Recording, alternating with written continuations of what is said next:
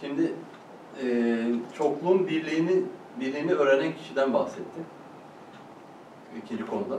Evet, tevhid meselesini. Evet. Bu durumda e,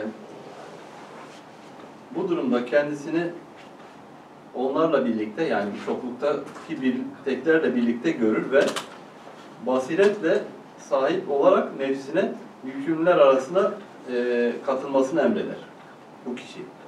Evet, evet. Yani Heh, şimdi az önce Hilmi amcanın dediği alana geliyoruz. Beka alanı. eyvallah. Heh, işte yani çokluğun birliğini gördü. Gördü.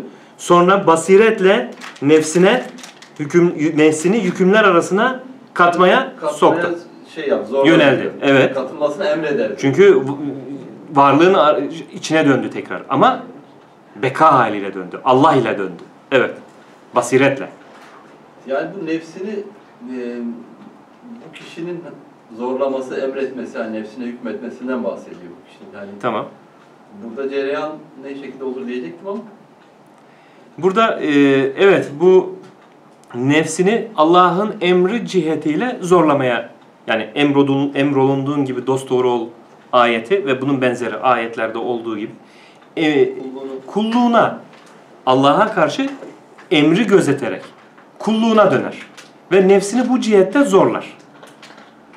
Hakikate vakıf olmakla birlikte nefsini de bu cihette zorlar.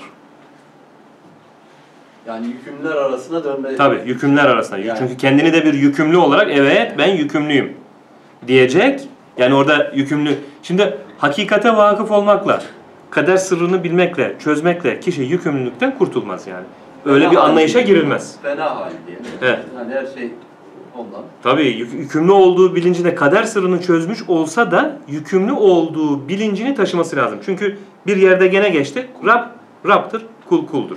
Kul mutlak kulluğunu idrak etmekle ne kadar hakikatine vakıf olsa da hakkın sırlarını taşıdığını izafeten o sıfatlara mazhar olduğunun hakikatine ma- e, vakıf olsa da varlık olması itibarıyla kul yani kul kul geniş manada kuldur. Yani Allahu Teala'nın ilminde ilmi suret olarak yarattığı her şey kul diye nitelenir.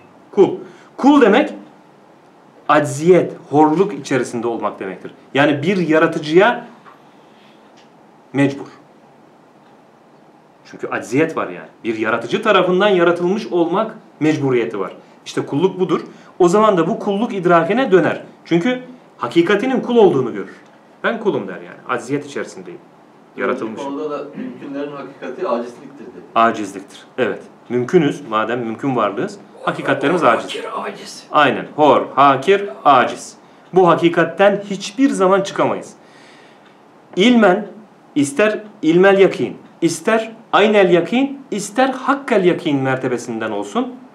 İlmen bu kendi hakikatine vakıf olsa da kişi bu hakikat değişmez.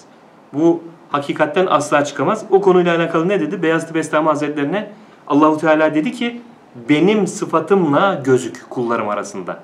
Dedi. Bir adım attı, düştü bayıldı dedi.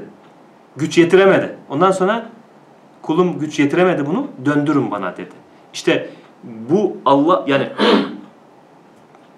tam tabir e, o şekilde olmaz ama amiyane bir tabirle Allah'lık yapmaya kimse kalkamaz. Çünkü Allah mertebesi Allah'a aittir. Kul kulluğunu mutlak bilmek zorundadır.